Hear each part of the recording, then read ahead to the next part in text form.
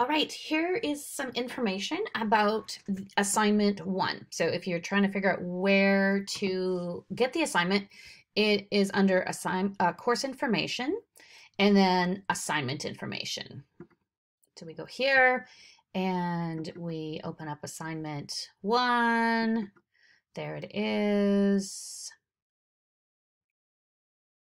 And here we go. Okay, so Assignment one is you're going to read and analyze children's literature. This is a part, sorry about the extreme close up there. Uh, this is a partner assignment and it'll be about a 10 to 12 minute presentation, which will happen on October 6th and 8th on our online. Uh, you'll so you'll actually just kind of read the book to us live. So the rationale for this, for this um, assignment is to be an amazing language arts teacher. You must be excited about and committed to reading out loud to students in a manner that will inspire them to want to read. So you have to read with enthusiasm. And if you're monotone, I'm going to make you do it again. Anyways, you also must be deeply analytical about every book that you read to your students, from word choice to illustrations to themes. There are so, there's so many books out there that you have to know first of all, is it a good book? Is it worthy of reading to your students?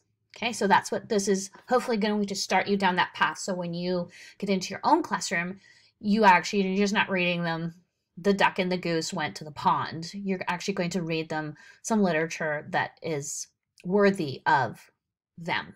Okay, so this opportunity to read a children's book and analyze it from an expert position will hopefully translate into practice in your own classroom. Okay, so what you're going to do is you're going to choose one. Oh, can't do it here. Oh, choose. Oh, I know. I've forgotten how to do that. Anyways, sorry, I lost my pencil. Anyways, off we go. Uh, choose one quality children's book for set of partners. You're both going to read the same book which means that you need two copies. So there are lots of children's books here at the Medicine Hat College Library, and there are lots of books in the Medicine Hat Public Library. Since you have an MHC student card, that automatically is a public library card as well. So I think you would just have to go in and activate it and then you could take books out. But you need two copies because you're not going to see each other and you shouldn't pass, be passing books back and forth. Um, you can also use your own library collections. You can use school library collections. If um, you know somebody who has a great book collection, you can borrow books from there. But you do need two copies. Um, it's pretty, it's not that hard to get two copies. Don't buy them if you can borrow them from the library. Okay, so then you're going to read letter B here. Read the book to the EDTS 371 class with expression and excitement in a style appropriate for an elementary class, classroom. And then you're going to critique the book in an organized, coherent, and professional manner. You're going to assign a grade level you feel would be best suited, and then you're going to defend. So I think this book is really would be really great for grade ones or grade sixes or grade 12s. And why? Are the themes really intricate? Are is are the are the words really culturally based and maybe a child um, with an ell background won't be able to understand. Uh, is the book just fun and silly or is it very does it have a really deep uh, deep um, concept to it? Okay so uh, you're going to present connections to ideas from EDTS readings and lectures, including language development theories and age-related language development. See below for suggestions. So I'm just going to scroll down to show you that. So think about these are terms from your reading for that week and the school age language development lecture which we of course will get to so these are things that you can include just to start to bring that theory and the practice together. So think about including some of these concepts that I have listed here. Okay, so, uh, and then you're going to present connections to your practicum experience. So you need to be linking this to your practicum experience.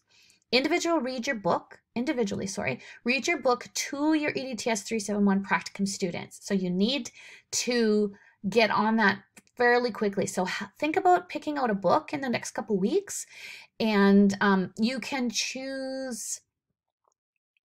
Mm, actually, no, you have to wait until you get your practicum placement grades because you want to try to partner with somebody who is in a similar grade, like somebody in grade three could partner with somebody in grade four, but probably somebody partnering grade one and grade six, the kids won't, you won't be able to read the book. So hang on on picking a book until you get your placements and then we can and then you can have that discussion um, with your with your colleagues okay so you're going to read it to your practicum students and present student reaction to the book did they love it? Did they dislike it?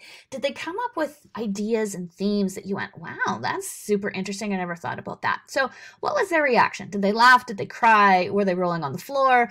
Um, what did they like the pictures? So that's the kind that's kind of thing. And then discuss benefits of this book for your students in their language development. So maybe it brings in all of these really juicy words that then you could build, um, you could build off with your students, or you're maybe you're yeah introducing vocabulary, or maybe introducing a really new theme to them. So again, how will how will this book actually progress their language development? Okay, so the straight up reading of the book is 25%. If you're going to be an elementary teacher, you got to be able to read a book with excitement. So it's it's just straight up did you read it? Were you monotone? Were you boring? Were you exciting? Were you engaging? Those kind of things. Connection to language development concepts. Again, bringing that theory from 371 in your readings into uh, what what's the benefit of the book. And then connection to practicum experience. How did the kids react? What did you find out? What was surprising? What um, what did you kind of expect in there? And then just straight up organization of the presentation. Uh, were you fumbling around? Were did you have it organized? Uh, because of course, when you are teaching, you are always presenting. So just to get to develop those skills a little bit. Uh, for a total of 100. At least I hope that adds up to 100. And all group members of the group will receive the same grade whoever you partner with, you get the same grade. There's no written component, but that needs to be handed in for this assignment. It is all an oral presentation. And if you want to use a PowerPoint for the presentation, it's acceptable but not required. It might be tricky in this online, uh, but I know you guys are tech savvy, so do what do what you want with the PowerPoint. It's not required, but it it does just help you to stay organized. Here is the rubric. So again, have a look through what an A is, reading with great expression, read with some expression, read with no expression, analyze text, satisfactory, didn't analyze, connected text to practical experience, was kind of forced, and then actually didn't even read the book to the practicum students, and then just organization. And this is presented in professional no ums, like, we do need to get like out of our vocabulary as a teacher, and um, and present and, the presentation was organized and flowed. And again, those are potential things. So there's assignment one. Uh, I really love this assignment. We've had lots of fun with it in the past, and I think that you will as well. All right, take care.